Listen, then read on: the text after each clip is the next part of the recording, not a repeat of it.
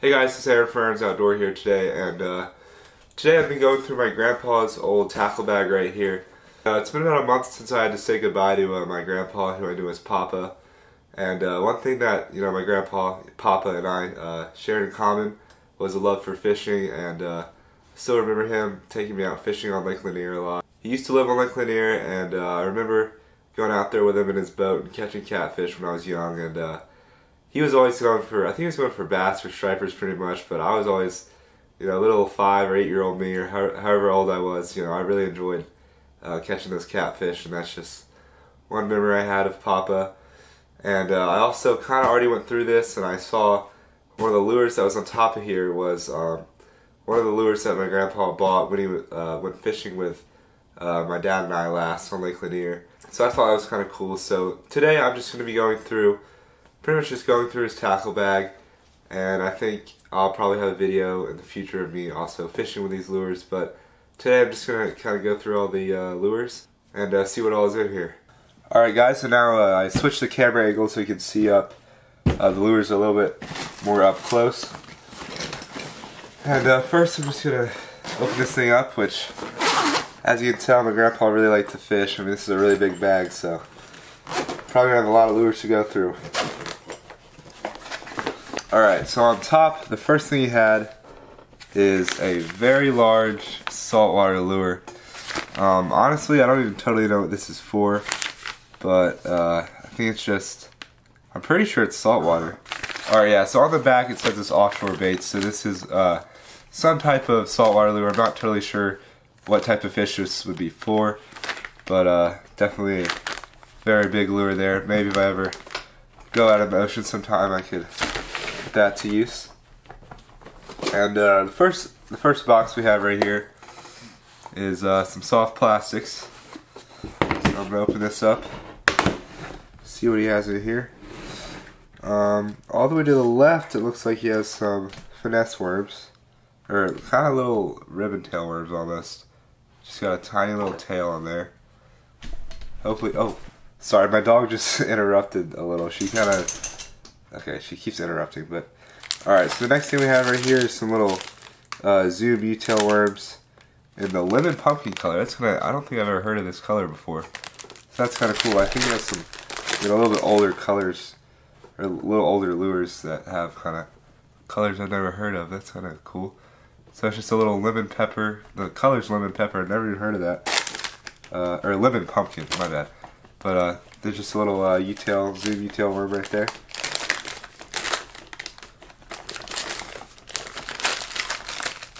Alright, this next bag looks like it's some Zoom Finesse worms. Yeah, he just has them in a separate bag. Alright, but this is just a little uh, Zoom Finesse worm. Looks like it's in the uh, pumpkin color. And a lot of these colors are pretty similar. I think he must have really liked uh, pumpkin and kind of colors like that. Which are more natural colors. And he fished Lake Lanier a lot. And uh, that's a really clear water. You know, the lake is very clear, so that's, you know, you pretty much want natural colors for clear water. And uh, he also has a few of these little kind of mini ribbon tail worms with uh, pumpkin and chartreuse tails. And then the next bag right here, uh, this looks pretty cool. I've never, I think these are little flukes. Uh, let's see. Oh yeah, just some mini little flukes. That's kind of cool. I don't know what brand this is or whatever, but it's a pretty cool little bit right there.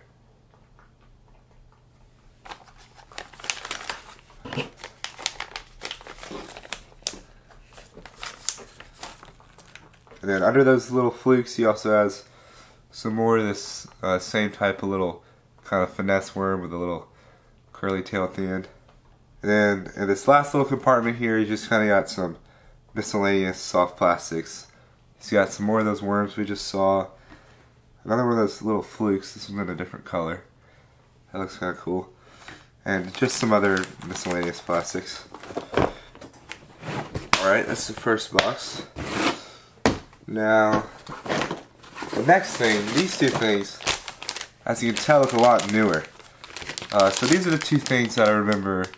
One of my last fishing trips I went on with Papa was uh, with my dad and I and my grandpa Papa And uh, we went on on Lake Lanier, and I remember him buying these at Hammond's, which is like a uh, just a fishing store, kind of the main fishing tackle store on Lake Lanier. And uh, I remember him buying these there and uh, fishing with them that day. I never make it, made a video that day. I kind of wish I had, but uh, my I think my grandpa and my dad both outfished me, so maybe I didn't want to make a video. But anyway.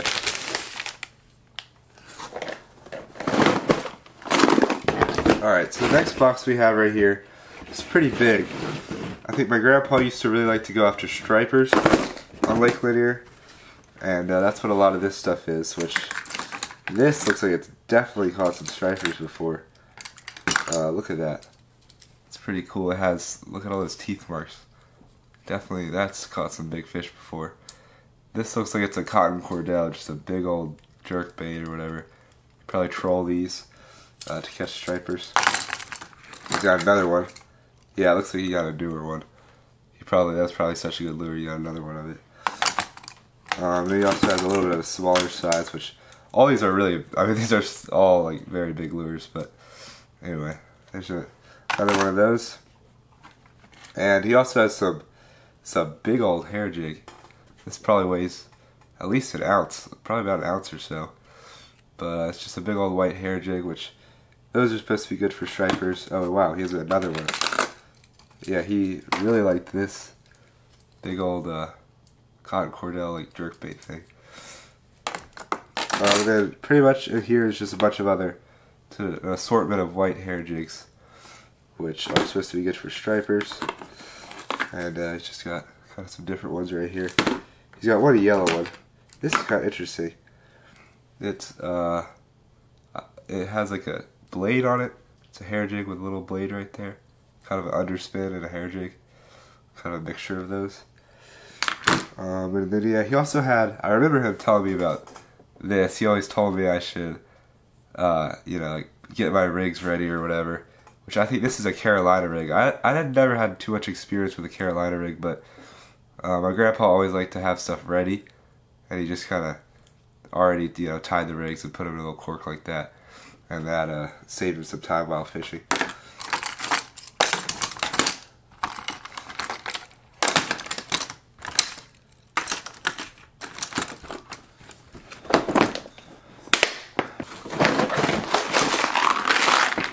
Alright, so this next box right here uh, looks like it's mainly terminal tackle, except wow, this is a I've never seen a blade bait so big. I was just watching a YouTube video of a guy fishing with a blade bait. And uh, this is a pretty big one. But uh, looks pretty nice right there. And then this box isn't too exciting, but it's pretty much just a bunch of little split shot weights right here. Um, clip-on ones. And you also got some other worm weights right here in uh, various sizes. You got some worm hooks, a lot of swivels. Those are kind of handy. And uh, some snap snap swivels, uh, some beads. Yeah, pretty much just terminal tackle. It's pretty much hooks and weights right here. I don't know what these things are. It's a little, a little mini treble hook. I don't know if you can see that. It's a mini treble hook with like a little piece of line on it. I don't really know what that that's for, but it's got a few of those. And that's pretty much it for that box. Now in this box, uh, this box is a little similar. He's got, uh, this looks more like saltwater type stuff. He's got a lot of these. Wow, this is nice. He has a lot of these. Uh, these diamond weights, which uh, when you're like, I don't know they're called diamond weights. I don't really know what they're called, but uh, they're kind of like triangular. You use these like fishing off the beach, or they're used for like fishing off the beach or fishing off the pier. So he's got some of those in there. I'm not really much of a saltwater guy. I don't know if I know what I'm talking about, but got some a few little saltwater rigs right there. So, oh, some snapper rigs is what it says. And some more uh, snap lock swivels. And uh, he's got a fillet knife in here, as, as well as some more, uh, I don't know, snapper rigs or some other saltwater rigs right there that are, you know, ready to go. And he's also got some little red hooks, should be good for saltwater. And uh, that's pretty much, yeah, so this looks like it's kind of like a saltwater, uh, saltwater box right here.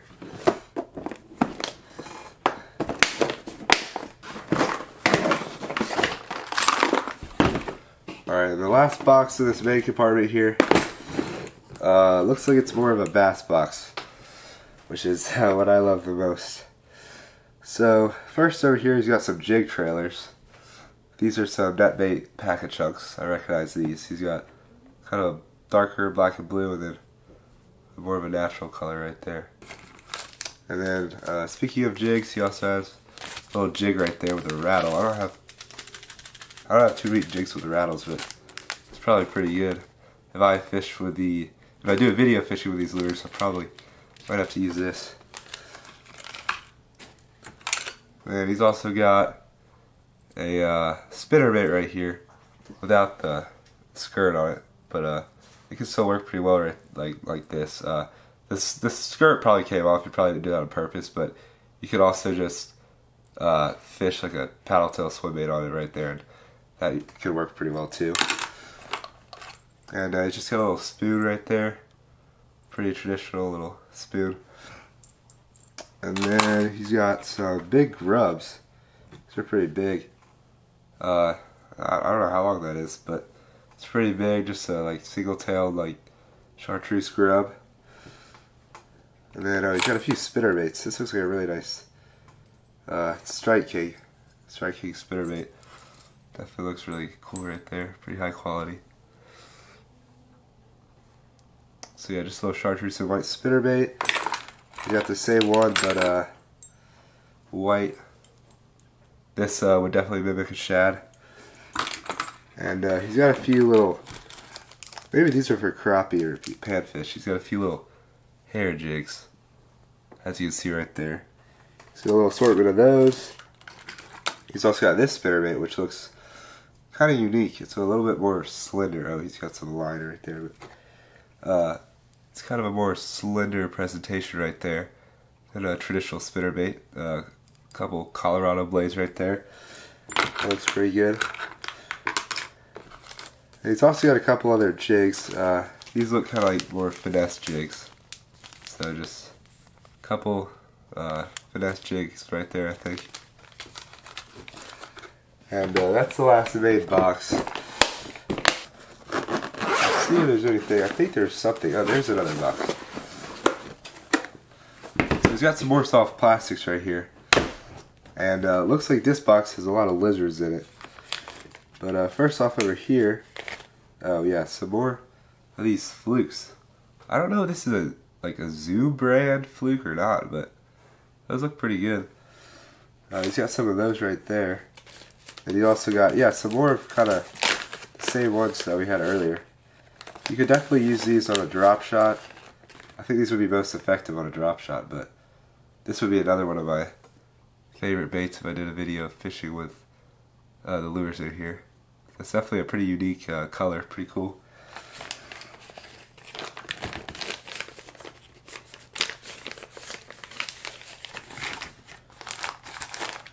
Now right here, yeah, here's some lizards. I think I remember, I remember him fishing with lizards. I definitely remember him fishing with lizards when I, uh, when he took me out when I was younger, uh, and I just kind of, I just always fish with real worms. I was never confident with uh, artificial lures, and uh, that's what I caught this catfish. So yeah, I think he definitely liked the lizards a lot. He's got some more lizards right here, and uh, that pumpkin color again. Pumpkin must have been his favorite uh, soft plastic color. And uh, yeah, just some more more lizards right there. And, uh, very a little, pretty much a pumpkin color. It's a little bit different. Got some uh, kind of unique flakes in there. And all the way over here, there's another puppy lizard on top, and yep, more lizards. Yeah, he really, he must have really liked lizards. And all right, guys, my camera just died on me, but I was pretty much uh, through with going through all these lures anyway. Uh, this is the last box in there. So uh, I hope you guys enjoyed this video and uh, definitely look out for a video of me fishing with these lures uh, coming up in the future. I mean, this is so many lures I could do, you know, a million videos fishing with these lures. And uh, I might do more than one, but uh, I'll definitely make at least one, so stay tuned for that. And I appreciate everyone who's been watching my videos. I just hit a thousand subscribers which was uh, definitely a really big milestone and a big accomplishment. And uh, I couldn't do that without all y'all watching uh, watching these videos. So uh, I want to thank you for that, and uh, thank you for watching this video, and uh, I'll catch you guys in the next one.